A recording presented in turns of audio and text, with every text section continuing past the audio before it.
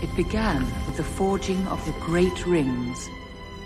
Three were given to the elves, immortal, wisest, and fairest of all beings.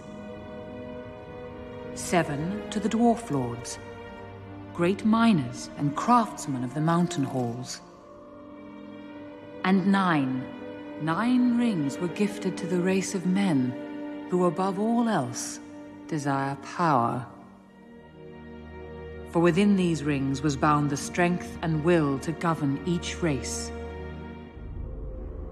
But they were all of them deceived, for another ring was made.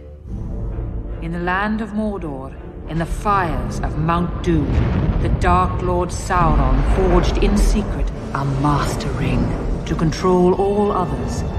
And into this ring he poured his cruelty, his malice, and his will to dominate all life. One ring to rule them all. One by one, the free lands of Middle-earth fell to the power of the ring. But there were some who resisted. A last alliance of men and elves marched against the armies of Mordor, and on the slopes of Mount Doom, they fought for the freedom of Middle-earth.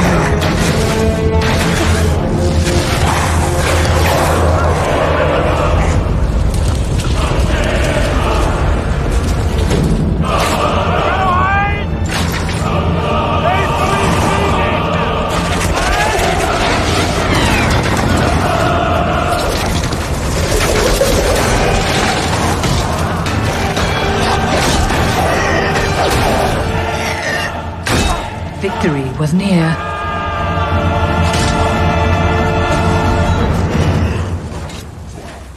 But the power of the ring could not be undone.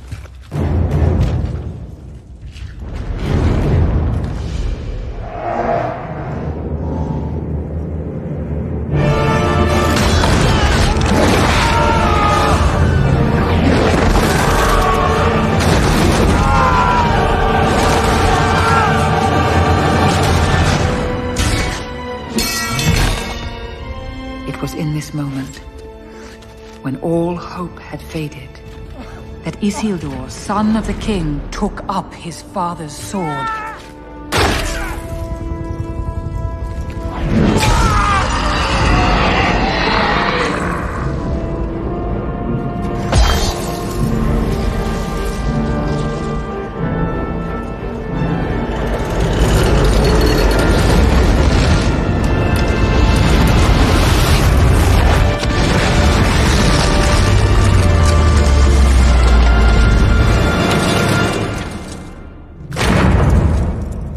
Sauron, the enemy of the free peoples of Middle-earth, was defeated.